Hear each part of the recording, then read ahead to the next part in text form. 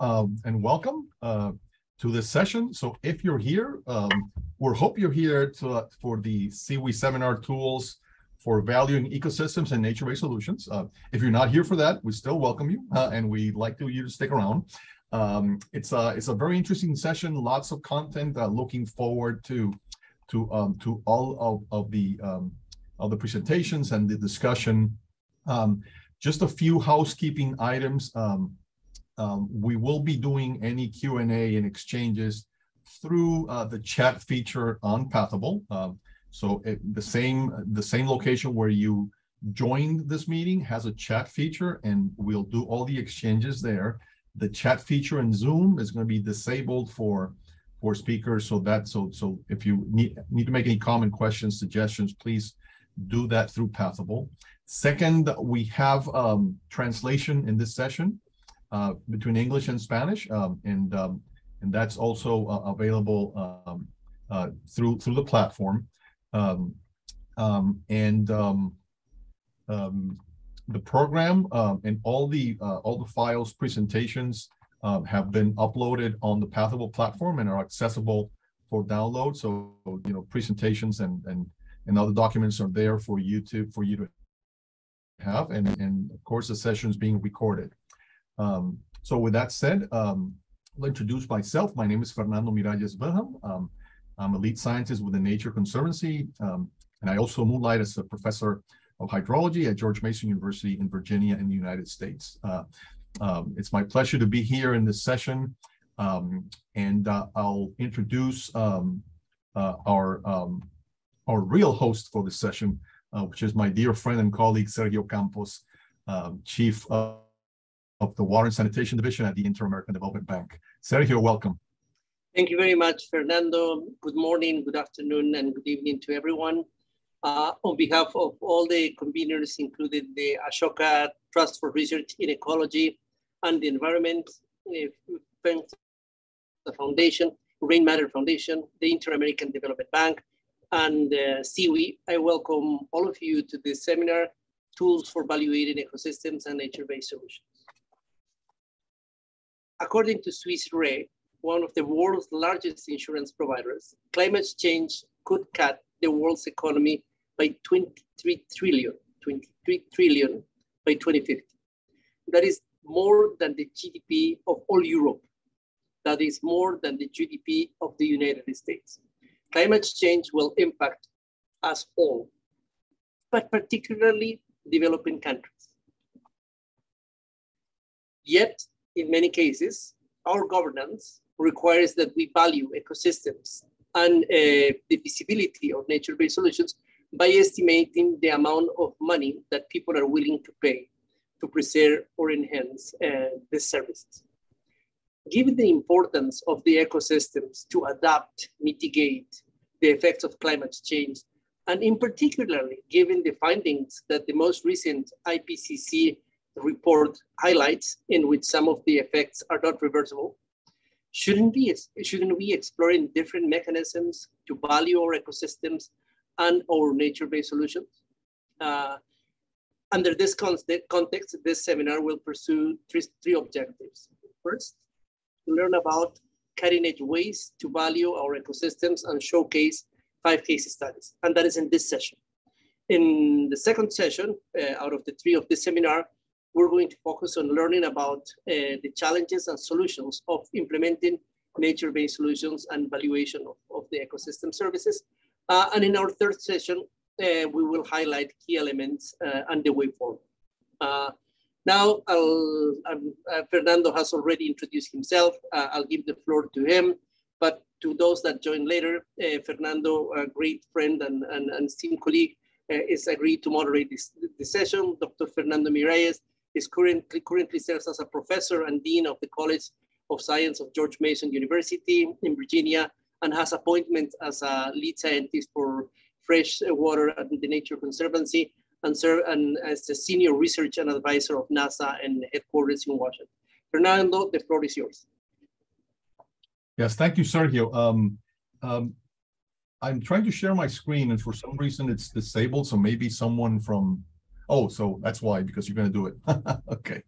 Um, Yes, so, so um, first and foremost, thanks, uh, thanks, thanks for the opportunity um, um, to uh, be here with you today. Um, uh, World Water Week, it's a, it's a, it's, it's a, it's an event very close and dear to my heart. I've met um, and connected with so many uh, people and institutions over the years, um, and it is, it is the, the, the event to be in terms of water every year. So I'm happy to be here. And um, what I want to talk to you today about is um, um, is nature-based solutions in the water space. And this is a very, very large topic, very, very challenging. So I try to I, I try to narrow down a little bit of the discussion by looking at providing food, water, and energy to people while taking action for climate and ecosystems. And I I underlined the word food um, um, because um, it's no surprise, even though this is a session on water and this is a actually a whole event around water. Um, producing food is the major uh, is the major way we use water worldwide. Moreover, producing food is the way humans alter the every single ecosystems, every single eh, the, the biggest footprint of humans in the world is to produce food. It is the biggest way we impact our environment. Um, and every time I'm asked, so how do we how do we solve the water problem in the world? in order to fix water, you got to fix food. I mean, that's it. If you want to fix climate, you have to fix food. If you want to fix ecosystems, you have to fix food. Okay. Um, and uh, so at the Nature Conservancy, um, you know, we've taken an, an agenda where we actually integrate uh, food and, and water and the provision of these two particularly. Uh, energy is also there because the the the way we produce energy is also tied to um, uh, to water and to land particularly. Um, and uh, uh, so it, it, sort of it sort of comes uh, energy comes in in the package when we look at food and water. But these two are actually uh, tight, uh, very tight at the at the sort of joined tightly at the hip. So can we go next? Um, so so so why are we doing this? And um, let's click one more time just to give you give you a sense of um, you know despite this, you know, despite progress, and here, you know, you have, um, um, you know, it's a graph. It's a, it's a little bit inspired um, by um, um, some graphics produced um, by the IUCN, the International Union for Conservation of Nature.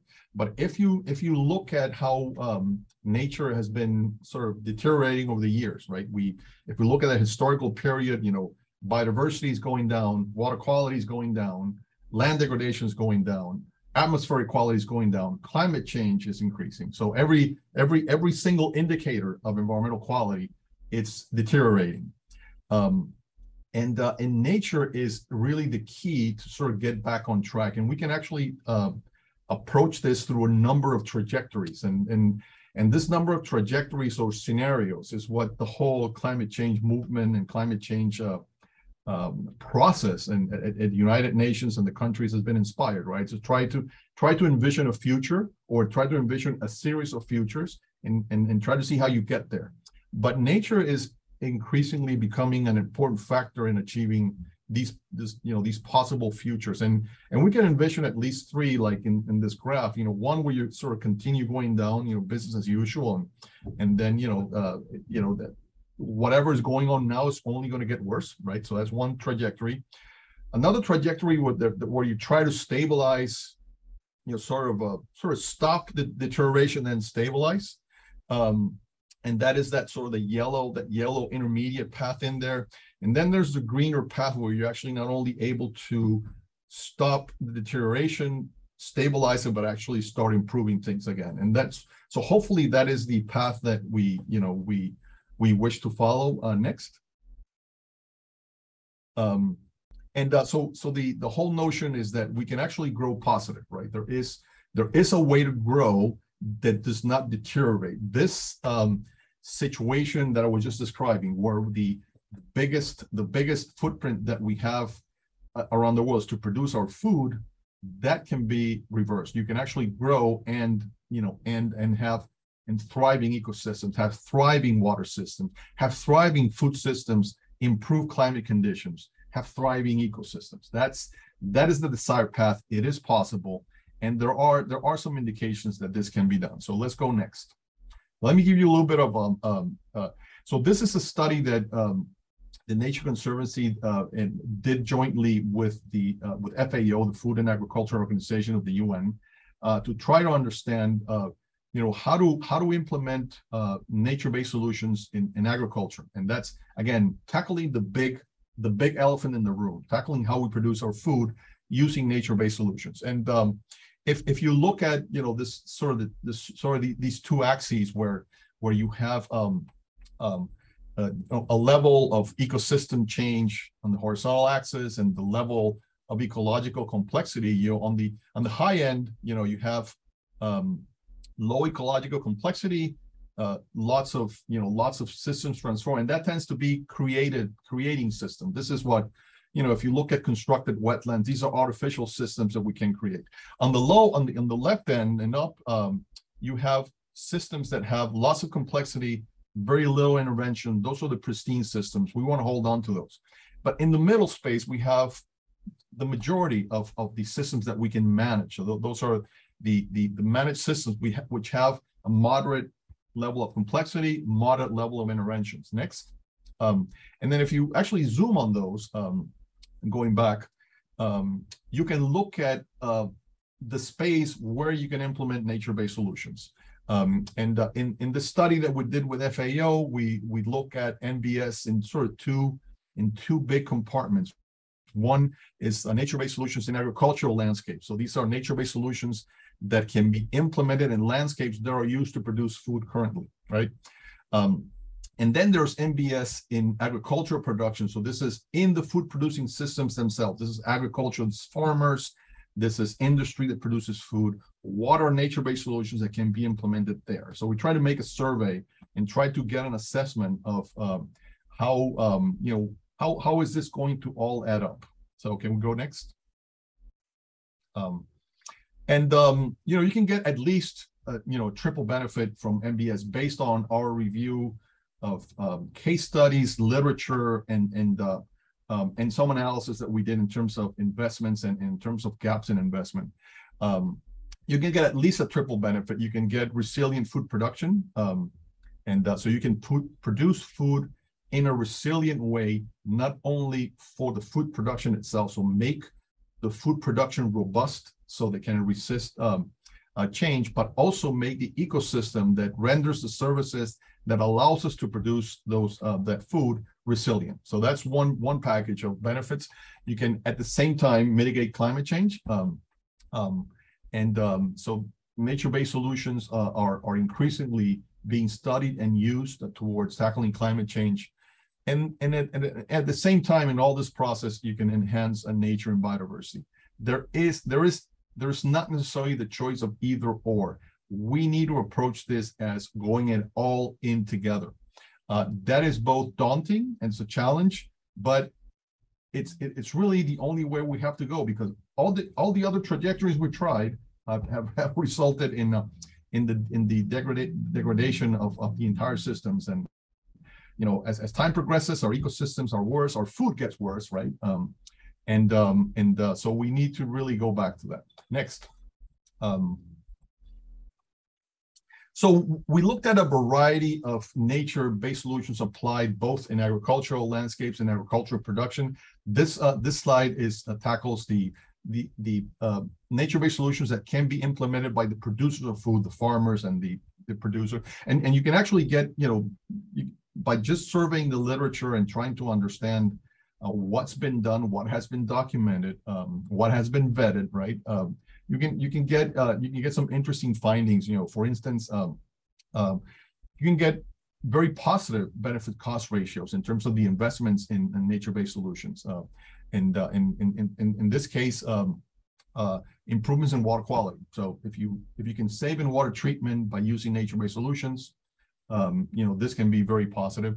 You can certainly improve in mitigating um, emissions of carbon to the atmosphere and mitigate climate change uh, uh, in, in, along several of these. Um, um you can mitigate, uh, um, uh, you know, the the, the uh, loadings of uh, pollutants to water water bodies using nature-based solutions. Um, and so let's let's go to next. Um, in uh, in terms of uh, nature-based solutions applied to landscapes. So these are uh, now these are nature-based solutions that can be implemented at locations or in in extensive land that are used to produce food. Uh, again, you can see benefits across climate, across biodiversity, um, um, across water, soil, air. Um, and uh, we sort of we, we, we sort of um, um, made a tally of, of and, and, and made a synthesis of what the existing knowledge is uh, in terms of nature-based solutions in that space. Next.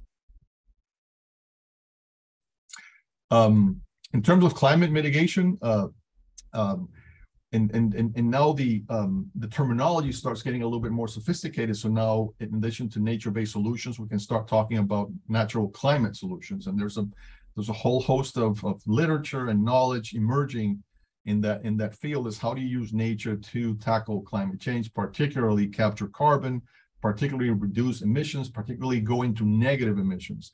And um, in this, in this review that we did with FAO, we, we, um, uh, we did an overview of uh, how different uh, nature-based solutions are able to um, mitigate climate emissions. Next.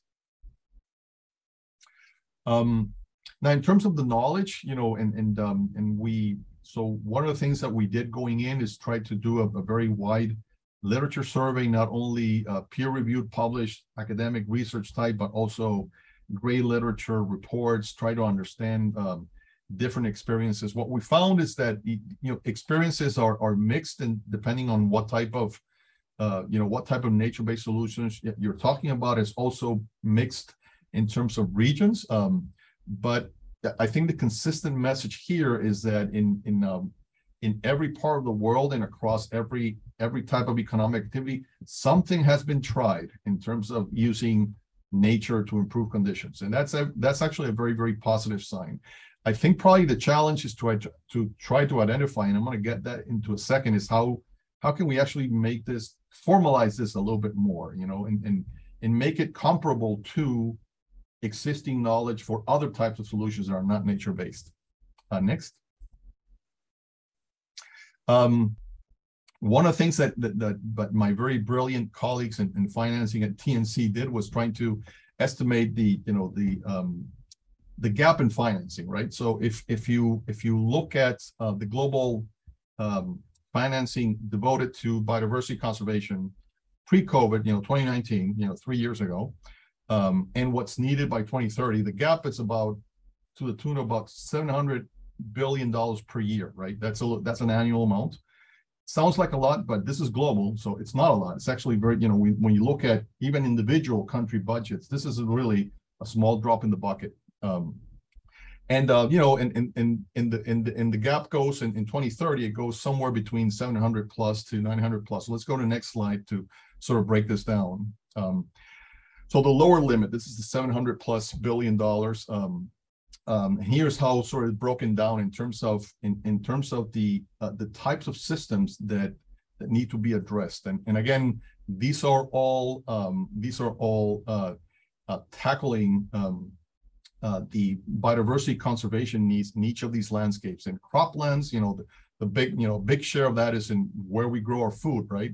Um, you know, some are uh, in, in forests and fisheries and and some in urban environments and rangelands and and and and, and the larger the larger range is um, it's almost a billion you know billion dollars um, um, I'm sorry almost a trillion dollars um, in, in, in you know in terms of annual.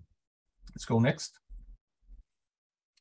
Um, yeah, let's click all the way through some you know some of the barriers and and and I'm sure in this audience uh, you know none of this is going to be a surprise. It's it's really um, you know, when you look at nature-based solutions and the way they're financed, you also need to redefine how this is financed. We cannot go into try to finance nature-based solutions in the same way that we finance the traditional infrastructure, you know, water treatment plants, wastewater treatment plants, um, you know, um, irrigation systems, right? It's these are all quite different in, in terms of what they do than, than nature-based solutions, even though they achieve the same objective, but the way they're structured, pumps, pipes, you know, a, um, and, uh, you know, I, I worked at IDB and, and, and uh, I, I, I'm sure my colleagues will under, at IDB will understand this well. You know, financing a, an infrastructure project that has pumps, pipes, you know, roads, it's you know, in, in, in terms of putting together the, the, the cost estimate, it's a, it's a relatively straightforward process because the information is well developed, it's well defined. We know how much it, you know, it costs to produce, you know, a kilometer of pipe of, of given size, as well as, as pumps, as well as roads, as well as irrigation systems, right? We know the we, we know the costs of energy to run these systems, um, and we can and we can be fairly um, accurate in, in, in estimating outputs, uh, you know, for example, in food production from such systems. The the knowledge is fairly well defined, right? And we, you know, we can work on efficiencies, but it's well defined. With nature-based solutions, that's not the case. In addition to the technical aspects, um, there are all there are a whole host of governance aspects. So, um, you know, when we deal with natural resources, sometimes they're transboundary, uh, many times they're transboundary. You know, who pays for what? Who owns? Um, you know, how do you so the governance of of um, of um, of, of natural systems. These systems, every every one of these components has a solution, but but we haven't really spent the time thinking about this. We haven't really acquired the experience and knowledge that requires us to do this efficiently. So this is going to continue to be a challenge, right? So we and and again, uh, part of it is trying to come up with different frameworks to to um, to tackle this. Let's go next. Um, um, but there's some there's some positive examples. This is one one um, um, one um, experience um, um, that TNC has been a, been a part of the Sustainable Water Impact Fund, and and the general idea here is to uh, and, and think about think about uh, the way I like to explain it to myself um, is think about it as, as this is like a water fund on steroids, right? This is like a really major operation to protect water sources, right? But not protect them to to to sort of have impact on a small or relatively small parcel of land. This is to protect the footprint of water on an entire ch supply chain. Um, and um, so, you know, how do you implement conservation measures in water sources that are used, for example, to grow, you know, um, peanuts in Georgia and the United States that are exported to, you know, to to Europe or to Asia, right? Uh, how do you work on, on, on that scale of supply chain um, and and have a measurable impact um, protecting water sources, right? So that's um, and so we're working on this, and and uh, and the results are very promising. Um, next. Um, and then going a little bit more lower scale, this is one example of a water fund in, in, in the Upper Tana Nairobi in Kenya, where definitely, you know, there are there are um, farm level, uh, you know, farm level uh, improvements that can be done to protect water quality that have a positive incidence on not only food production but also the economy, the local economies, uh, gender impacts, um, and so you actually tackle a whole host of, of, of other problems that you will not be able to tackle with traditional, you know, gray infrastructure systems. Um, uh, next. Um, so um, I just wanted to give you a little bit of an overview of this. We have documented uh, this work in three reports um, uh, jointly um, written by uh, FAO and TNC that uh, in the presentation, you actually have the links directly to the documents there. Um, next. Um, and oh, I had one more slide, but I'll, since it's not there, I'll um, I'll just I'll I'll just I'll, I'll just talk through it. So so one thing you know uh, one reflection that I can offer also from the knowledge standpoint is um, is the is the level um, the level of uh, training education materials that are available to look at nature-based solutions. Like I, like I mentioned, it's really not the same. You know, we you know I'm an engineer by training, so you know we've been studying water systems, pipes, pumps, uh, flow to porous media for you know, uh, at least a couple centuries, right? Um, um, and uh, with nature-based solutions, we're not there. We're just starting to to to go. And if you if you look at, and I, I did this exercise this morning just before this this talk. If you if you if you try to look for in Amazon, go and look for textbooks on nature-based solutions. Okay. As of this morning, you're gonna find three. Okay, that's it, three. With you know with uh if you were to say, you know, water resources systems or water management, you will get hundreds and not thousands of textbooks, right? Um, same with institutions, same with with educational programs, same with universities, same with research programs. The the level of of uh, disparity is, is quite large, right? Um, and um, so, so I think that you know institutions, you know, like IDB, like FEMSA, you know, and and and others are part of this session. Um, uh, they have they have the wherewithal, right, to um, to invest in this, and and certainly uh, being here is is a big part of that. Um, I I think I think that's the future. We need to develop the knowledge. We need to develop the the expertise. We need to develop the research, right? Scientific research, not only natural physical engineering, but also social, institutional governance uh, research that, that's going to allow us to transition. The, the same way we're speaking about transition our energy system, right? Where everybody's talking about decarbonizing the energy transition, we will need to make a transition in water, and it, it, and it, and it is going to be a transition towards nature-based solutions. We need to start on that path. I think we've, I think if I had to describe it today, I think we're shyly, shyly acknowledging that this is the path, right? Um, even with sessions like this, which I love, I think we we we need to be a, a little bit more proactive. Um, so um, I'll leave it at that. I thank you for uh, being uh, you know for being here today and for allowing me to uh, to share uh, these thoughts and reflections with you. Uh, so I think we'll we'll go on to the um, to the next part of the session, which is a discussion panel. And uh, so I need to switch my hat from keynote speaker now to moderator back. um, so welcome Maureen, uh, Todd, and Naabia. Um, uh, Maureen from um, Maureen de Bazelaire from HSBC. Uh, welcome Todd Gartner from WRI. Um, great colleagues, always great to work with them and my dear esteemed Naabia uh, Ofosu from from TNC. Um, and um, so let me let me throw a question out, and and you can of course um, you can of course uh, um, uh, tackle it however you want to tackle it. But you know, one thing that I keep thinking about is, um, and and one thing that comes up constantly when we share.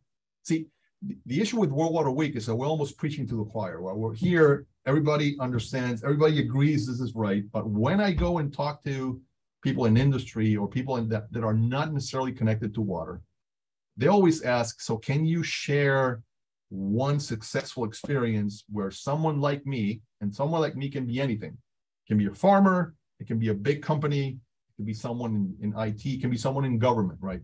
Uh, has used this successfully. I need to see evidence. Uh, so can you share from your experience, well, from where you sit, any successful experiences in um, nature-based solutions or even valuing ecosystem services in this space? So uh, I don't know how we want to tackle it. Why don't we go in the same order that was listed? So let's start with Marine and then move to Todd and then then uh, yeah. So and and again, this is just a sort of a option question, but I'm I'm curious. Thank you very much, Fernando, and thank you very much for your presentation, which was very comprehensive and, and meets a lot of our analysis. Um, on the slide you presented on the financing gap, maybe something to underline is that um, uh, obviously we're really not meeting the need. And when you look at where the actual financing comes from, 80% come from the public and, and private donors, meaning that the private finance is not really in yet. So mm-hmm. I'm Marine de Bazelaire, I'm group advisor on net, natural capital within HSBC, sitting within sustainability, representing the group in uh, quite a few uh, um, external uh, initiatives such as the TNFD. And specifically on nature-based solutions, I, I would uh, um, present two initiatives. One, which is um, our global asset management has launched a um, joint venture along with Pollination to actually become the uh, uh, leader in uh, capital, um, natural capital uh, investment. So it's the ambition, but looking at the ambition, we see that the pipeline is not that easy to identify. I mean, there's a lot of opportunities. There are not so many opportunities that are readily investable. And so we have uh, uh, launched another initiative along with WRI and uh, WWF, which is an NBS accelerator. And the aim is to address the barriers I mean, for, for the wider good, for, for that pipeline to develop at scale. So if, if I um, identify one um, uh, success, I would say, I mean, we, you said we need research. We have financed last year a research led by Earth Security Group on mangrove. Uh, we all know that 50% of the world mangroves uh, assets are already gone and that they are critical in many ways. So th that research is on the uh, HSBC website, the Center of Sustainable Finance. Uh, it's called Financing the Earth's Asset, the case, the case for mangrove as a nature-based solution. And among the findings, they have identified that um, an estimated 65 billion a year in storm and flood damage could be saved with mangrove and that to meet that the investment needed is roughly a little more than 10 billion. So, so you see there's a, an amazing lever here. So following that we have uh, um, decided to work again with earth security group to develop a mangrove bond framework now applied to a specific case in the state of Queensland to actually um, conduct a careful analysis of the environmental economic accounting around that. And we can already say that it is likely to be framed as an investment in climate resilience. You, you mentioned the uh, positive outcome, but uh, uh, uh given the relevance uh, uh, to significant assets in the Brisbane city, but it also going to include co-benefits with primary industry and blue carbon. And the idea is certainly for that bond to allow um, many investment uh, uh, support in mangrove. Thank you, Marie. This is wonderful. I, I mean, it's, um, you, you know, for, um, for sort of a scientist, environmental engineer like me, when I hear someone from the banking community speaking in these terms, it tells me that we're moving in the right direction. And it tells me that we are reaching uh, you know the stakeholders uh, that we need to reach. So really really interesting perspective. I appreciate you sharing it. Um, uh, todd uh, same sort of same question or whatever flavor of, of interpretation you want to give to it. Great. Thank, thanks fernando. And, and in many ways my example touches on some of the challenges that marine just laid out that so much of the funding right now is just coming from the public coffers um, and one of the examples that i want to highlight is the Forest Resilience Bond uh, example that's being implemented in Northern California, that's been developed by Blue Forest Conservation and the World Resources Institute. Um, and really one of the, the few examples that, that is able to bring blended capital upfront to the table, both market rate capital and concessionary uh, money as well. And you, you talked about the connection between agriculture and water and NBS and energy security. And, and this project really touches on all of those things in a watershed that um, you know, is facing immense fire challenges and incredible issues with drought. Um, and ultimately, the science is actually pretty clear on what we need to do to reduce some of those issues. It's to uh, do forest restoration in the form of NBS that won't necessarily totally reduce uh, the incidences of fire in the region, but it will reduce the catastrophic nature of those fires. And so if we do that NBS intervention at scale, uh, we're gonna prevent critical infrastructure from burning up. We will reduce the amount of sedimentation that ends up in our reservoir, um, and we'll reduce the amount of toxic smoke that filters into our cities in addition to all that bad stuff that we're preventing, uh, this type of restoration can actually increase water yields as well. For those that are familiar with the system, we're actually reducing the number of trees on the landscape. So the amount of water uptake by that vegetation is reduced, more water in the rivers, more water in the reservoirs. Uh, the science is fairly clear. The question, as you, you laid out, Fernando, who pays for it? Yes. And the key is how do you articulate a compelling business case to actors in and downstream of these watersheds and make it clear why they should be collectively part of the solution? Uh, and, and so we went about trying to put that into practice. We engaged with water and hydroelectric utilities. And by doing detailed ecological assessments, risk scenarios, different fires of different um, intensities in different locations, what would that mean for them in terms of likely um, costs to treat additional water, loss of capacity in their reservoir, um, impacts to their filtration and piping system. And in addition, what sort of additional revenues could they be looking at if additional hydroelectric production and water supply came online? We were able to articulate tens of millions of dollars in cost avoidance and revenue generation over the next 15 to 20 year. And that has led to these water and hydroelectric utilities putting forward millions of dollars a year to be part of the solution. But it's not just the utility sector. You're also seeing this from the Fortune 500 corporate sector, right? Companies like Danone, their Silk brand, the almond milk that you may have had in your coffee this morning, Target, the major retailer. On one hand, we're helping them set science based targets for water. And then by helping them engage in projects like this, we're able to actually measure the volumetric water benefits of this restoration activity and commensurate with the level of, of, of resources they put into the project, they can capture those benefits towards meeting their targets. The final beneficiary is the actual state of California, which is really a proxy for all of the millions of residents there. And we were able to tie the outcomes and benefits of this type of project with the various goals and commitments that they have made around climate change, around public health, fire risk reduction. And when you look at the resources that the utilities, the corporate sector, and the state put in, you actually start to have enough money to implement these NBS projects at scale. And as I mentioned, we're able to get the work done pretty quickly because we're tapping into private capital upfront, driving that money to the ground. Once we hit sort of thresholds on the ground of, of levels of restoration, it unlocks repayment from these various beneficiaries. Uh, we have about $30 million that we've been able to confirm thus far, and that covers about 60,000 acres of restoration, about 25,000 hectares for those uh, using those metrics. And, and um, I know this is really a, a, a Latin America focused uh, panel. So yes, we've been able to do it in California, and some people might be saying, well, California is unique and this wouldn't work other places.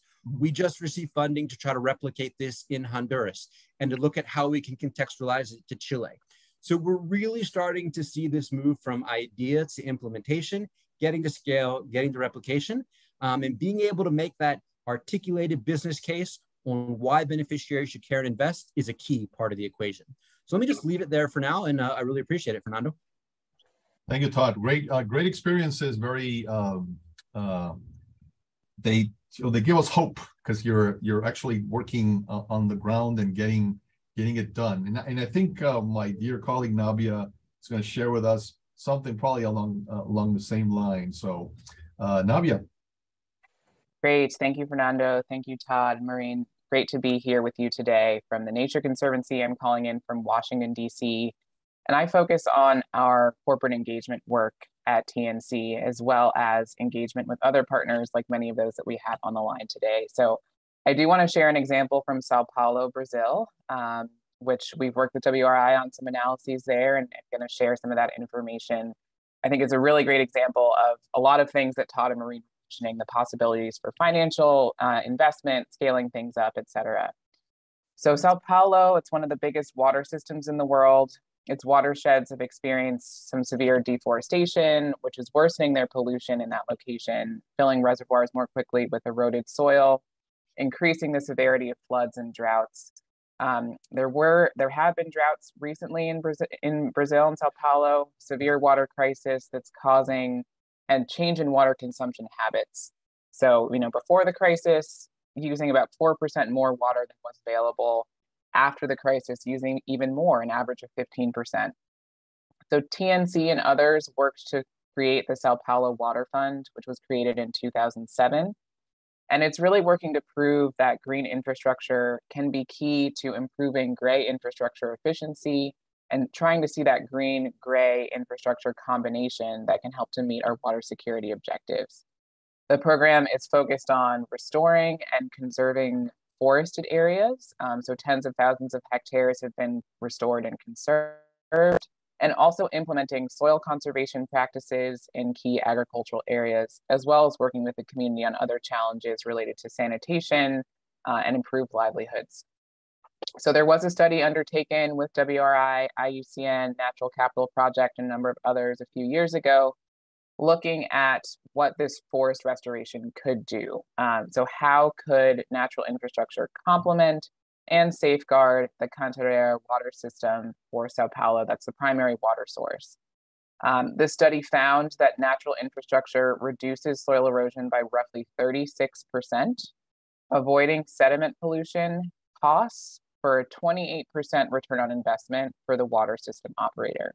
So again, that is clear evidence, an example where you can see the actual reduction of soil erosion, and that translates into a financial return. Um, so Fernando mentioned who is that stakeholder, in this case, the financial water sector, or sorry, the water sector and their financial performance. In addition, we're seeing some of those co-benefits. So the, this effort is tackling climate change, taking a million tons of carbon out of the air. And then I'll end by just sharing that corporate funding was really critical here. So we started this water fund with six corporations working together. We now have 18 companies who've committed $5.7 million.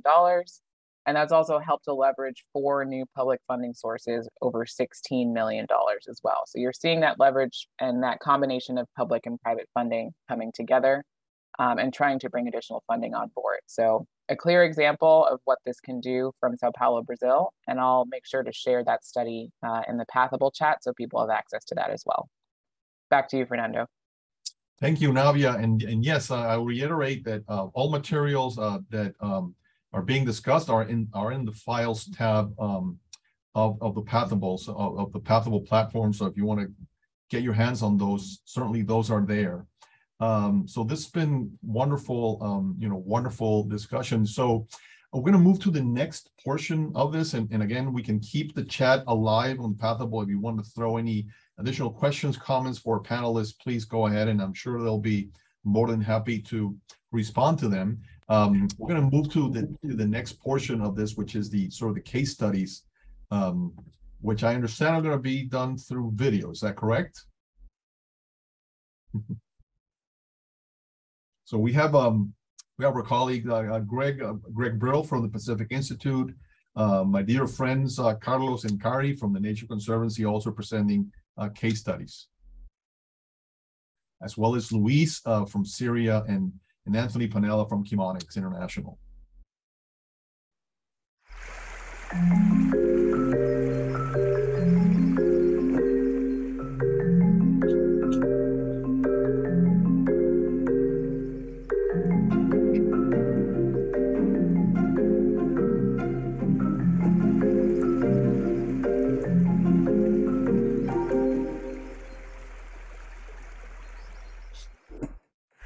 Pacific Institute creates and advances solutions to the world's most pressing water challenges. In partnership with the UN Global Compact, we created the CEO Water Mandate, an initiative that mobilizes business leaders on water, sanitation, and the Sustainable Development Goals. I lead our work on nature based solutions and will share some of our thinking with you today. Investments in nature based solutions, or NBS, have not been mainstreamed primarily due to a lack of standardized approaches and tools to effectively identify and account for the potential benefits of NBS. The Pacific Institute and the CEO Water Mandate, in collaboration with the Nature Conservancy, Danone, and Limnotech, have addressed this challenge by creating a practical tool, the NBS Benefits Explorer, that helps companies and other audiences identify and account for NBS benefits. The NBS Benefits Explorer is a web based tool developed to serve as a key starting point for organizations looking to invest in NBS and for those wishing to learn more about benefit identification and accounting. The NBS Benefits Explorer provides you with a high level overview of the types of NBS activities that can be undertaken and the resulting benefits that could accrue. Linkages between habitats, interventions, activities, processes, and benefits are defined in the outputs of the tool. For example, when a specific habitat and intervention type are selected, such as forest restoration, only activities that occur within the habitat intervention category are included. The NBS Benefits Explorer also presents a variety of indicators and calculation methods that users can adopt to estimate and measure potential water, carbon, biodiversity, and socioeconomic benefits of implemented projects. After we launched the NBS Benefits Explorer in September 2021, we have seen users from over 30 countries explore the tool so we know it has global applicability. Asia Pulp and Paper is using it across their peatland restoration projects in Indonesia, and the Coca Cola Company is determining the stacked benefits of their replenishment projects globally through our tool. We look forward to scaling up this even further with your help. Upcoming features will include benefit forecasts, spatial and temporal accrual of benefits, benefit valuation, and expanded indicators and calculation methods for benefit accounting. An exciting addition to the tool will be the inclusion of an expert interface, which will allow experts and specialists a chance to refine connections between habitats and benefits, improve benefit forecasts and valuations, and suggest additional indicators and methods for benefit accounting. The NBS Benefits Explorer can help you and your organization build a business case for NBS investments.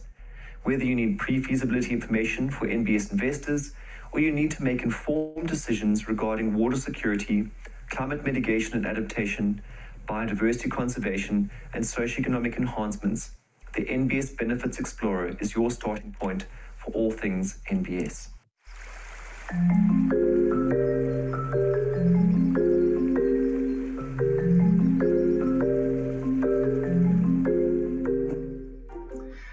Name is Carlos Rogelis. I work for the Nature Conservancy. I will speak about mathematical optimization for NBS cost-effective investments in watersheds. Our main question in this research is how to optimize an NBS portfolio to achieve objectives in improving ecosystem services at the watershed scale while minimizing investment costs.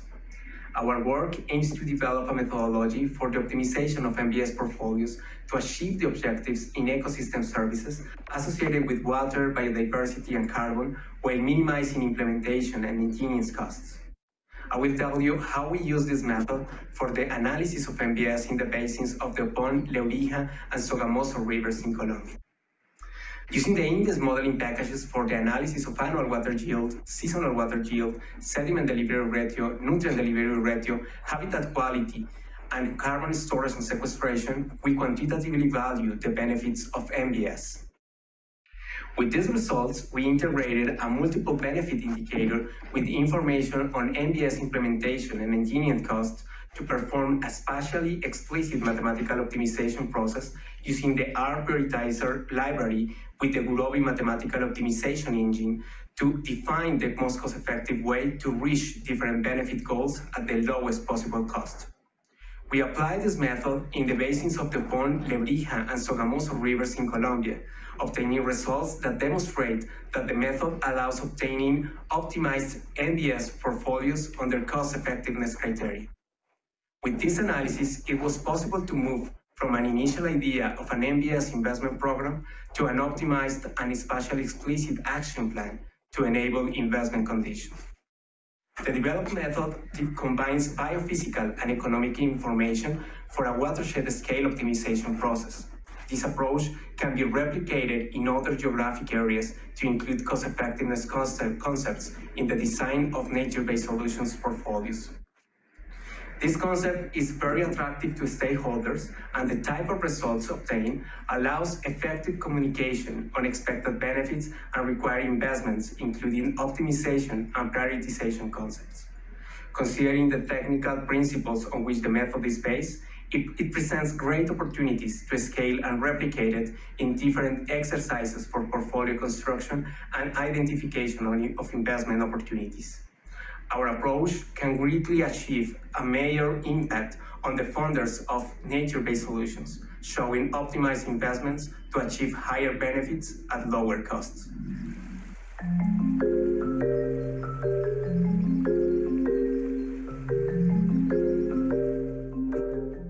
Hi, I'm Kari Vigerstol, Director of Water Security Science for the Nature Conservancy, and I'm here to introduce you to Waterproof. The Waterproof platform was designed to address common hurdles that impede conducting pre-feasibility level return on investment assessments for nature-based solutions. For an average of thirty to fifty thousand dollars and several months of time, to almost no cost and results within minutes. Waterproof is free and open source, available to any user anywhere in the world to do a rapid assessment of return on investment or ROI for nature-based solution portfolio. This platform was born out of the desire to assess more quickly which water basins would benefit the most from nature based solutions, or NBS, in terms of return on investment. so that the Nature Conservancy and its partners could prioritize where to focus the strategy and to bring this ROI calculation to potential partners and funders. In developing the platform, the team collated thousands of biophysical and financial data sets and developed dozens of cost functions related to water diversion and treatment based on peer review literature. This means that even if a user relies on the default data sets, water treatment configurations, and cost functions, the platform calculates an ROI with the best available global data and appropriate water treatment systems for the country where the assessment is taking place. The user has many options to improve on these default values, including customizing the treatment systems, cost functions, nature-based interventions, and climate change scenarios. The outputs of this platform are a series of biophysical, financial, decision-making, and geospatial results that help the user determine whether nature-based solutions can provide a positive return on investment for addressing water security issues and an indication of what the appropriate portfolio of interventions looks like. The platform launched in December 2021, and the team is now focused on collaborating with users on applying the platform in cases around the world. There are already several cases uploaded into the platform from users who chose to make their cases public, and many more will become available in the coming months. Right now, we are offering pro bono help to a limited number of cases, and if you're interested, please feel free to reach out. This platform has the potential to serve as a powerful tool for prioritizing locations and engagements of partners and funders of NBS for water security. This is critical for more rapidly scaling of nature-based solutions for water, delivering on clean water and co-benefits for people in nature in basins across the globe.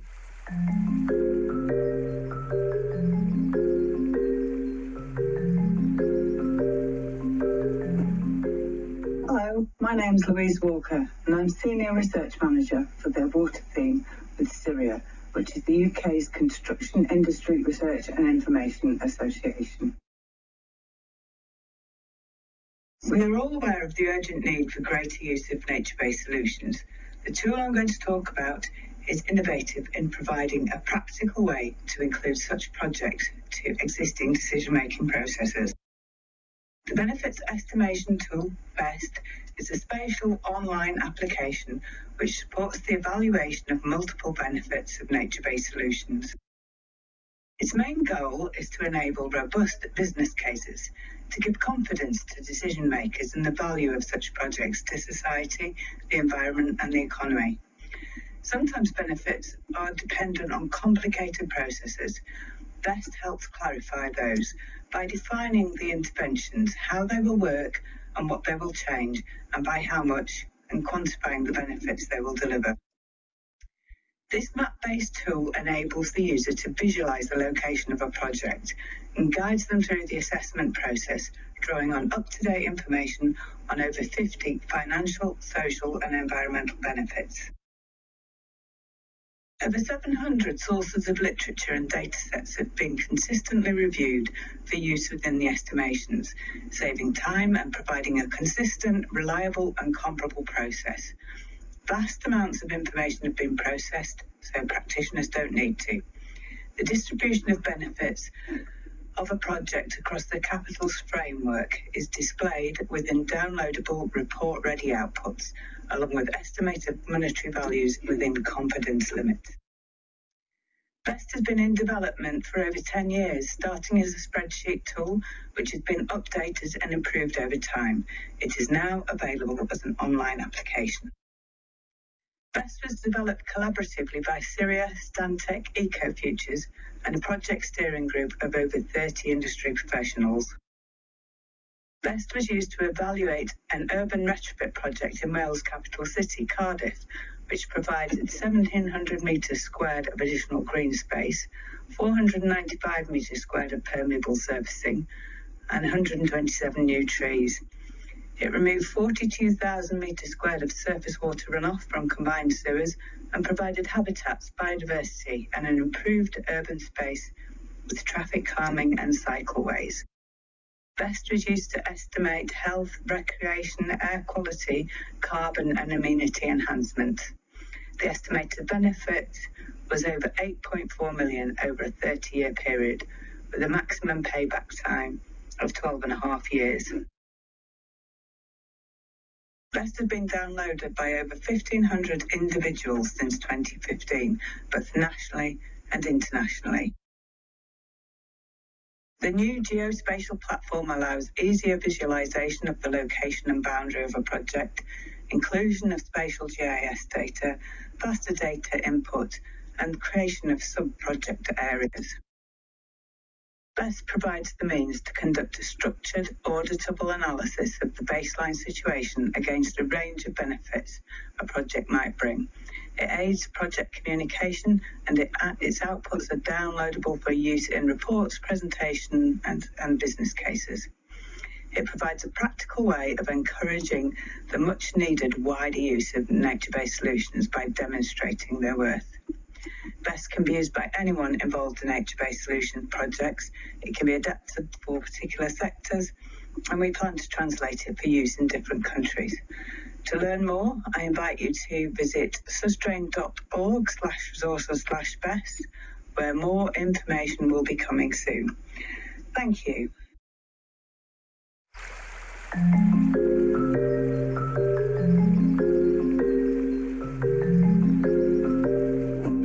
Hello, I'm Anthony Pinella, a program director with Chemonics International. I'd like to tell you about the work we did through the SERVIR Support activity to help USAID, NASA, and the entire SERVIR Global Network systematize its approach to developing locally driven, inclusive geospatial services. NASA has this constellation of satellites spinning around us all the time, collecting vast amounts of Earth observation data. And through a partnership with USAID, SERVIR's goal is to put that to practical use by co-developing services with local partners that will make a development impact. With SERVIR, USAID and NASA use satellite data and geospatial technology to improve resilience and sustainable resource management at local, national, and regional scales.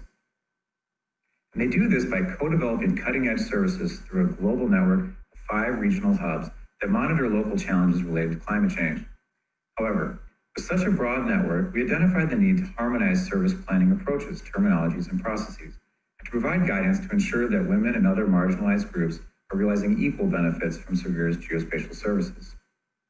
To that end, Chemonics supported SERVIR to co-develop the Service Planning Toolkit, a comprehensive guide that outlines the approach and provides concrete tools and methodologies to develop demand-driven services that are responsive to local needs. Toolkit has four tools that are designed to be used in an iterative way. That means revisiting the different stages of planning to refine their approach is both expected and encouraged. SERVIR starts with identifying the need and desired impact through a collaborative process. First, SERVIR identifies the various stakeholders and government partners through a consultation and needs assessment. Then they map these stakeholders to learn how they work together, interact, and how decisions are made. Then, working through a collaborative process, they develop a strong design that outlines the geospatial products and data that will be produced. And finally, mechanisms for tracking progress. Here we use monitoring, evaluation, and learning to create, collect, and report on relevant performance indicators and nurture a culture of asking challenging questions and having evidence to support responses, all of which comprise our holistic service planning approach, which is outlined in great detail in our SERVIR Service Planning Toolkit, open to all on SERVIR's website, servirglobal.net. SERVIR has been implementing this approach since 2017 and has used it to co-develop more than 45 services around the world, engaging hundreds of colleagues and thousands of stakeholders. And since we're here at World Water Week, it's worth mentioning that 12 of those services fall under our water and related disasters thematic area, providing services to improve resilience and reduce risk of extreme hydrological events, like providing advanced flood forecasting in the Mekong River Basin, and also to help manage precious water resources, like mapping and monitoring Himalayan glaciers, and providing critical information on surface water availability in West Africa, to name a few examples. It is our hope that sharing this approach with you will give you ideas for supporting your current or future work to make it more responsive to user needs and more inclusive of users as well as the communities impacted. To learn more, I invite you to visit servirglobal.net. Thanks.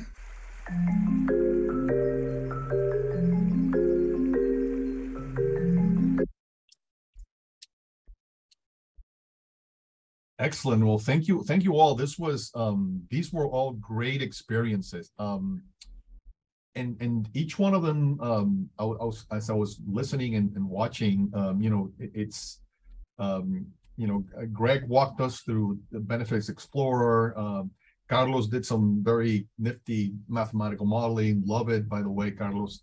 Um, Kari focused on um, on a, on a water on, on, a water rapid assessment of ROI. Um, um, Luis talked to us about, about, about benefits estimation. Now, Tom, uh, Tom, uh, Tony uh, walked us through um, the this um, SERVIR USAID NASA toolkit. So, so so this is this is my question, and and and um, um, and and, and I think it, it, it, can lead to a provocative discussion, and, and we don't have a limited time, but I think we have time to tackle this a, li a, a little bit initially so if if if i'm if i'm a um, someone that doesn't know a whole lot about nature-based solutions and you know it could be someone in industry you know with a lot of influence it could be a farmer it could be a water utility operator. So how do how do i walk through this maze of tools that are available? What what tool is right for me? Where do i start? I mean i want to hear some reflections on very important developments very great uh, tools uh, that for the sophisticated user make a lot of sense, but I, I want to tackle the non-sophisticated user. I want to tackle, I want to bring, I want to enlarge the circle. So um, this question is for all the panels, so feel free to um, to jump in with your comments.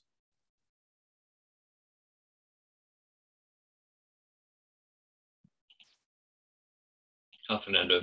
I thought I'd, I'd jump in as um, not only because I was the, the first presenter on, on, the video series, but also because, as I mentioned in the video, uh, the NBS Benefits Explorer is a really great place to start. And, and I certainly don't want to toot the horn of the tool uh, explicitly, um, but it really it, it is it's very practical and very intuitive. So for those that don't know where to start, come and come and check out the Benefits Explorer. It's a stepwise process, and whether you are a beginner or you really want to, to try and understand what the stack benefits look like across your water replenishment projects or your restoration projects, it gives a general overview of the kinds of benefits that can accrue uh, within an NBS project. As I also mentioned in the video as well, we, we're adding more functionality in the coming months, so within the next six months or so, um, and we're really in the weeds with uh, with figuring out some some benefit forecasts. So projecting how these benefits accrue uh, over different spatial and temporal scales as well. So it really starts building the business case for nature-based solutions. Again, for those that don't know where to start, that are completely confounded by what NBS even is or, or the kinds of benefits that accrue, and then also some valuation. Um, I was really inspired by the other work that is happening in the space, and I've made so many notes on connecting the dots as well. Um, between some of the NASA work, between what Louise is doing, um, we work very closely with TNC colleagues as well. So Waterproof is a really great addition to what we're doing. Thanks. Wonderful. Thank you, Gregg. Anyone else want to chime in?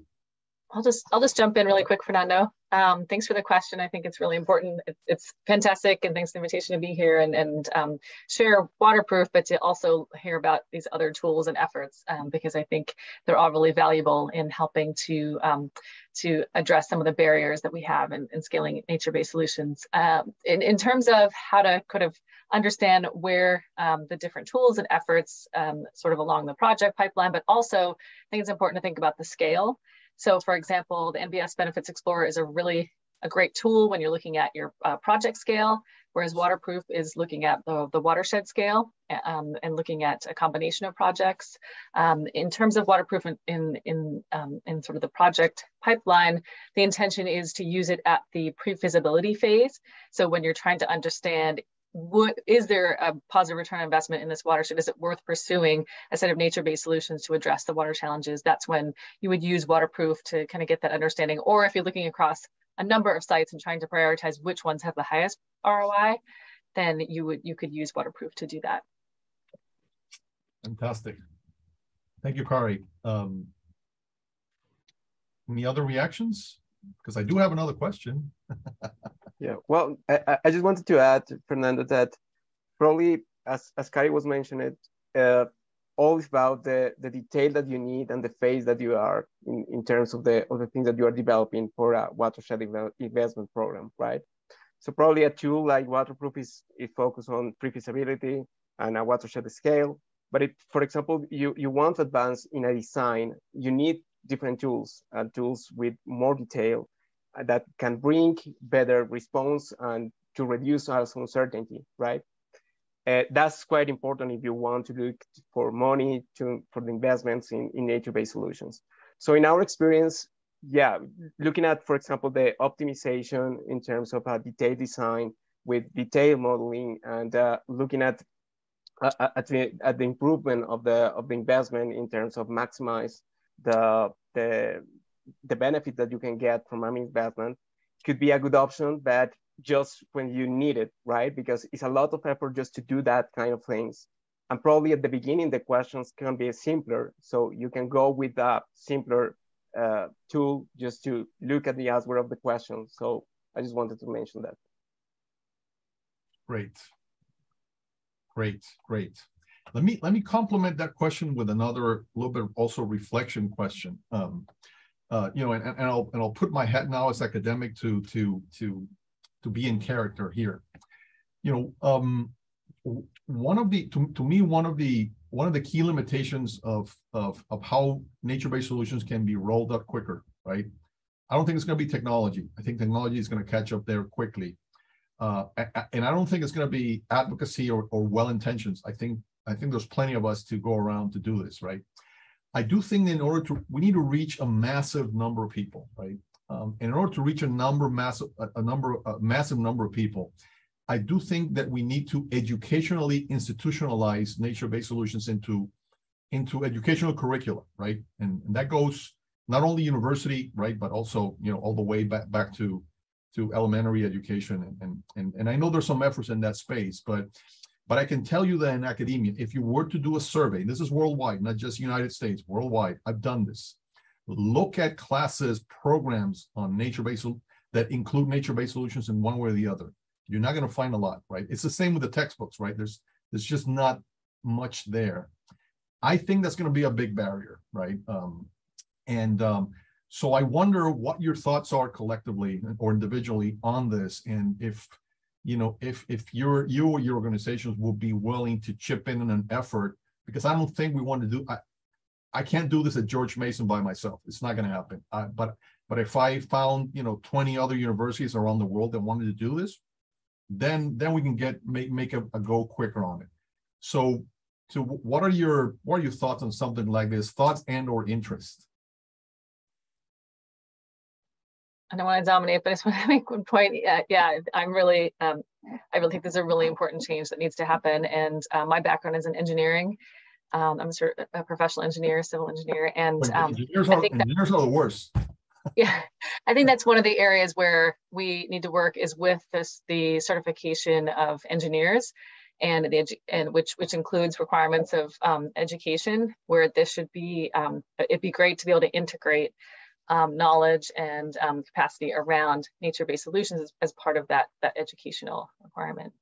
Um, so I, I would love to see better integration into the engineering education around nature-based solutions.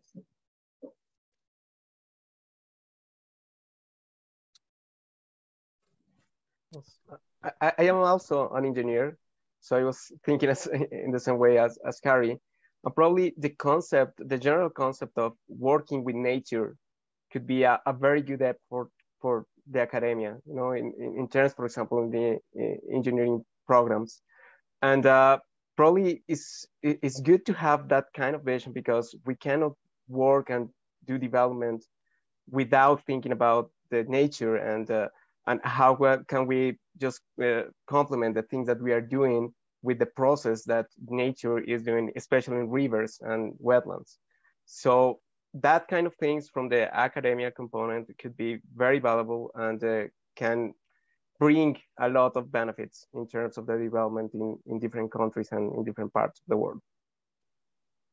Thank you, Carlos. Um, Marine, Louise, I want to hear from the outside of the pond. Yeah, what's, actually. What's your take on this from the European side?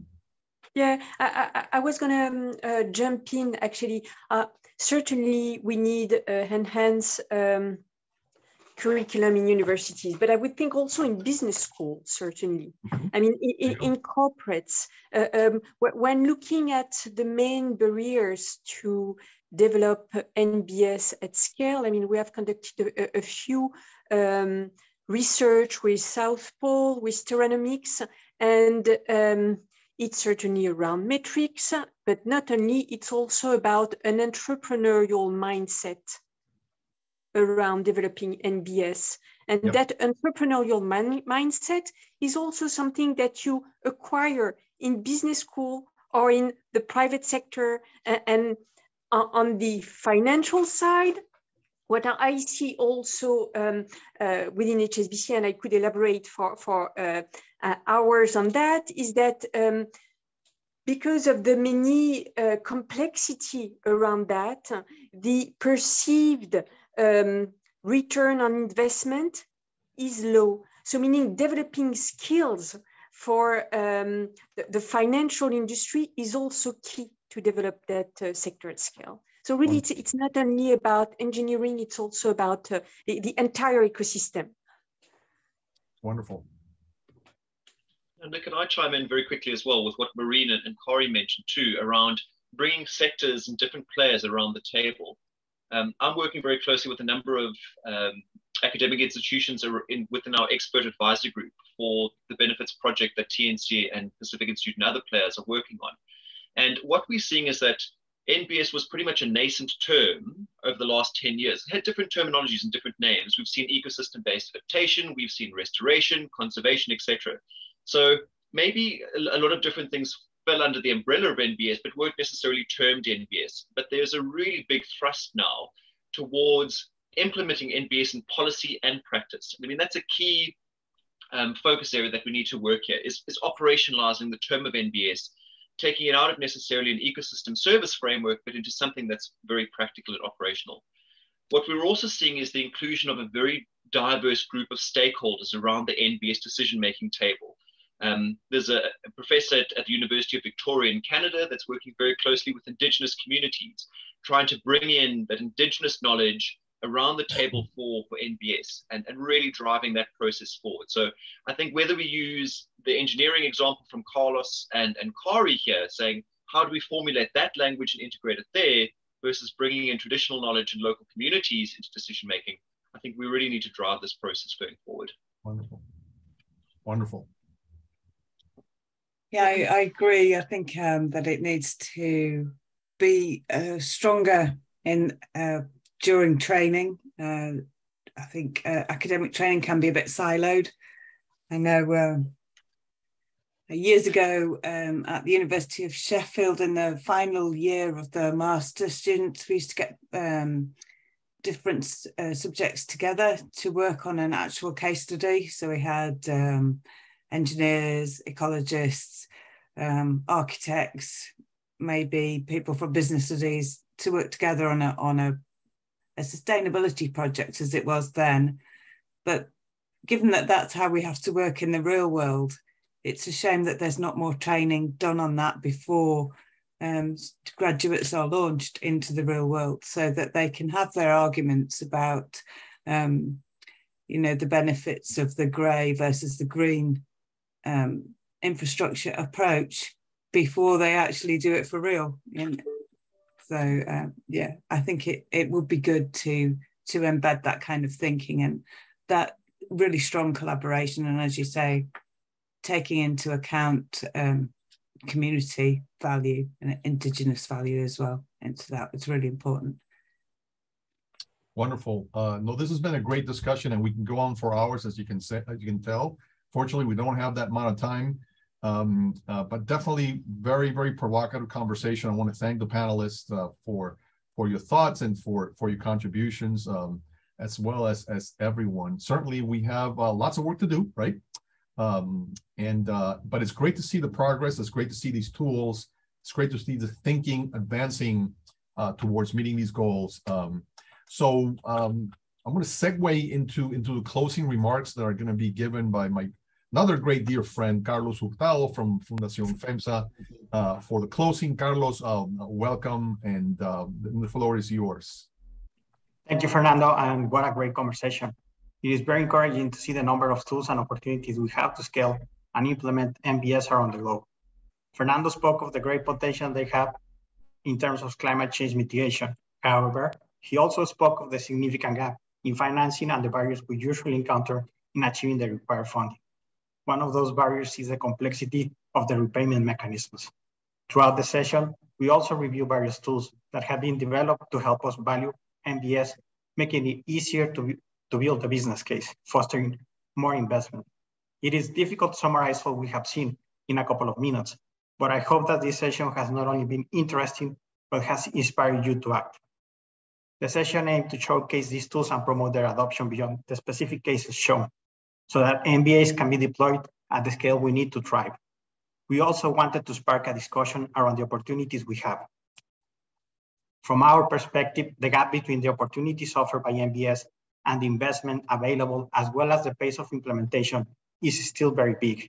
We need to think outside the box and make high-risk bets. Investing in monitoring, making it cheaper, more reliable, is key to foster investments, especially to make the case of NBS as a viable alternative to traditional projects. On Fundación FEMSA, we are making these bets, investing in technology, methodologies, and financial mechanisms as we believe they can help achieve the scale needed to face the challenges our region and the world have. We invite you to join these or other efforts and share your experience. Thanks to the audience and the panelists for a great discussion that we encourage everybody to continue be a part of. And now I will go back to Fernando so you can close us off.